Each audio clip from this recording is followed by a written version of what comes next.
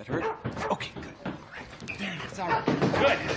Good. Hey, Nigel, wanna play darts? No, I'm no playing darts. I told you that. Hello. Hi, how's it going? No, everything's fine. I'm just, uh, I'm just here. I'm just uh, making dinner. Yeah.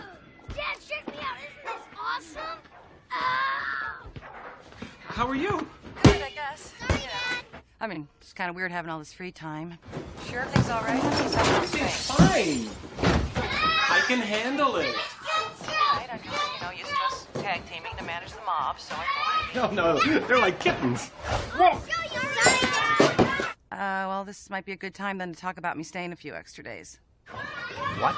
A few extra days? Uh, 14, give or take. What did I say about throwing darts? That's a lot of days, Kate, and a couple of key games. Uh, all right, but I have a plan. I mean, we just take it one day at a time, and if you start to get overwhelmed or the kids stage a coup, you call me up, I'm home, end a trip. Well, uh, yeah, yeah, sounds good. Sounds good. I got him in the face. Okay, honey, thanks for doing this. Uh, give me someone.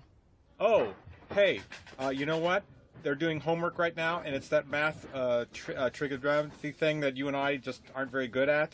And it's the sweetest thing. They formed a little study group, and they're helping each other, and uh, it's like a little mini uh, think tank thing.